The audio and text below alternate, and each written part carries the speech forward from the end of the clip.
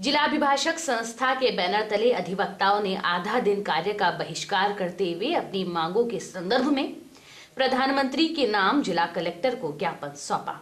अधिवक्ता रैली के रूप में न्यायालय से कलेक्ट्रेट पहुँचे। जिला अभिभाषक संस्था के अध्यक्ष गोपाल लाल गुर्जर ने बताया कि नरेंद्र मोदी गुजरात के मुख्यमंत्री रहने के दौरान बार काउंसिल ऑफ़ इंडिया के गोल्डन जुबली समारोह में मुख्य अतिथि थे। तब उन्होंने कहा था कि वे प्रधानमंत्री बनेंगे तो अधिवक्ता एवं वकालत के व्यवसाय वेलफेयर के लिए अधिवक्ताओं की मांगों के अनुरूप प्रावधान करेंगे। बार बार निवेदन करने के बाद भी प्रधानमंत्री ने अपने वादों को पूरा नहीं किया है। अधिवक्ताओं ने ज्ञापन में मांग की गई है कि अधिवक्ताओं के परिवार को 20 लाख रुपए का बीमा कवर दिया जाए। अच्छे से अच्छे हॉस्पिटल, देश और विदेश से बाहर मेडिकल की सुविधा इत्यादि प्रदान किए जाए।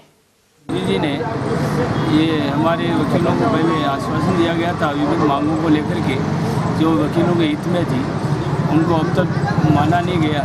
इसलिए हम ये आवाज़ उठा रहे हैं बीसीआई से लेकर निचली अदालतों तक, सभी अधिवक्ता एकजुट होकर के हमारी दस मांगे हैं जो उन्होंने आश्वासन दिया था, जिसके आधार में माननी चाहिए। इसके लिए हमने आज ये ज्ञापन दिया है।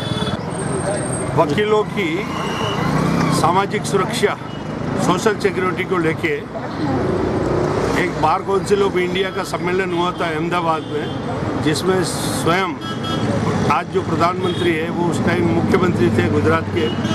उन्होंने ही ये कार्यक्रम रखवाया था और सारी व्यवस्थाएँ की थी।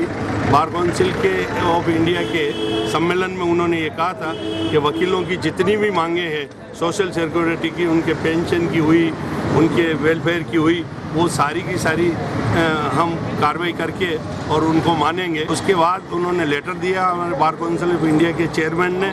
उस लेटर पर भी ध्यान नहीं दिया। तो ये दो दिन का कार्यक्रम ये रखा कि 11 को तो पूरे हिंदुस्तान में डिस्ट्रिक्ट हेडक्वार्टर पे कलेक्टर और सब डिविजनल हेडक्वार्टर पे एसडीओ को ज्ञापन देंगे।